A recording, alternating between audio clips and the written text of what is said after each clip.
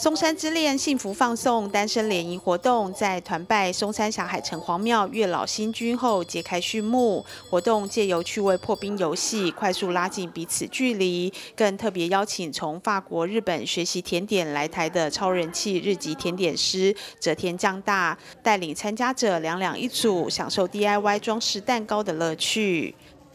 松山霞海城隍庙主委沈习琪、松山区公所区长郑朝元以及松山区慈幼里里长李祖明等贵宾，更亲自前来祝福，分享宝贵爱情经验，鼓励参加者勇敢追寻真爱。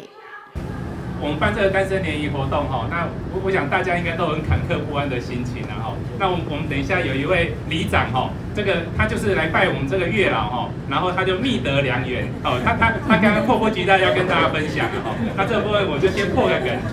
好，然后这个部分那我个人的经验哈。因为我我本来也是很腼腆的人啊，大家不要看我现在讲话好像很顺哦，其实我也在家里练很久了哈，所以我的也很腼腆，但是我我想说赠各位七七个字了哈，就是为自己勇敢一次，好，真的我当年也是为自己勇敢一次，我也不敢追女生，但是我就是勇敢一次之后，对我就成功了哈，这我们这些各位。男生们哈，你就为自己勇敢一次。但是我觉得现在是男女平等了，哈，那我觉得就是不管男生跟女生或男女生跟男生哈，我觉得大家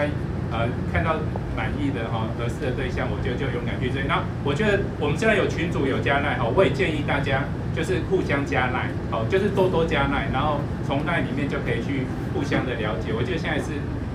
会很快容易拉近的一步哈。哎，我的姻缘真的是我们霞海的那个月下老人来牵成的。那我简单叙述一下，因为我的领长在这边当义工，好，然后我岳母有一天来这边拜拜，他说啊，我领长他就说啊，太太太太，你一起来救我，像啊，你是好心要被娶，还是哎，他听得懂吗？哈，儿子还没娶呢，还是女儿还没嫁，然后那个我岳母就说啊，我姐早嫁未嫁啦，我还没嫁，然后我们的领导说啊，不我我领长嘛还没穿呢，啊不介绍你好不？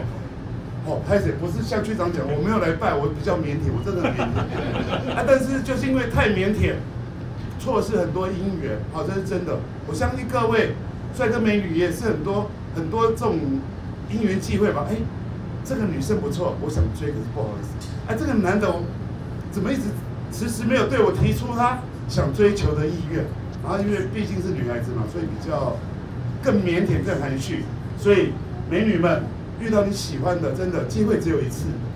有有的好机会，你可以试出很多